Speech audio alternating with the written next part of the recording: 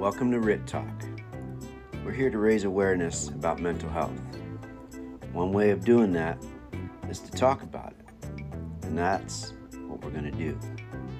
Have a great day, don't quit, and keep pushing forward.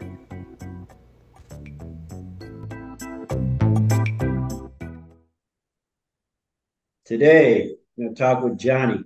Go ahead, take it away. Tell us a little bit about yourself.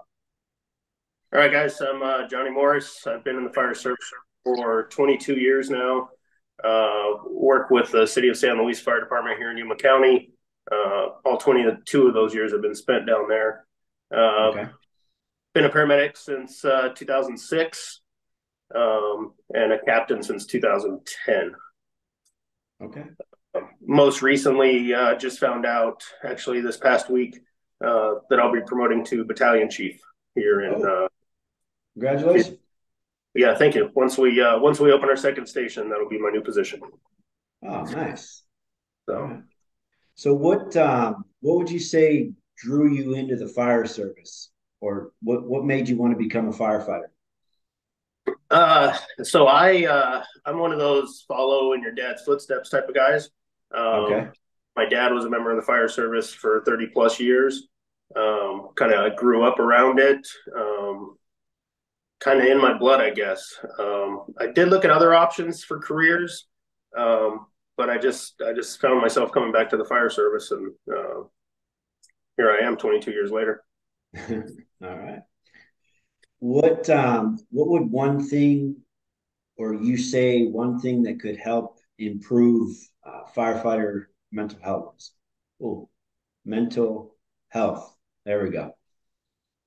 I think uh, what you're doing right now, getting getting guys to talk about it, is a huge step. Um, I think that uh, the CISM and all that stuff that we have following critical incidents is important. Um, but getting guys to be open about their feelings, guys and gals, um, to be open and to talk about uh, what's going on in their lives personally, um, just to be open about it. Okay. All right. Anything else you'd like to add? Uh, no, not really. Not not there. All right. Uh, I think that uh, I just think that it needs to be talked about, um, and then and then have follow through.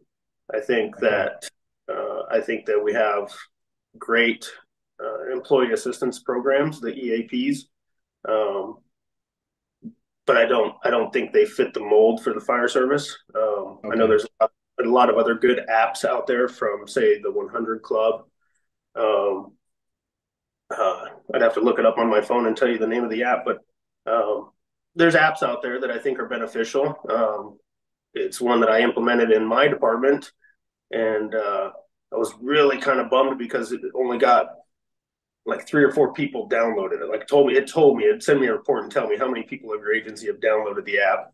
Um, not who downloaded it or who's using it, just how many people. Okay. Um, and I was I was kind of shocked. Um, it's got you know it's it's just an app, but it's got uh, it gives you access to a lot of stuff uh, outside of your city, outside of your department. Uh, I think a lot of guys have a, a problem with um, the confidentiality of things. Um, they don't want word getting out that uh, you know they're going to the EAP or they're struggling with this or they're struggling with that. Um, so some of those apps outside of the, the city departments, um, I think are beneficial. Uh, unfortunately, our guys, not not too many of them downloaded it. Okay. All right. Well, thanks for coming on. Cool. Is that it? That's it. Man, all right. Well, I hope that was all you needed, man.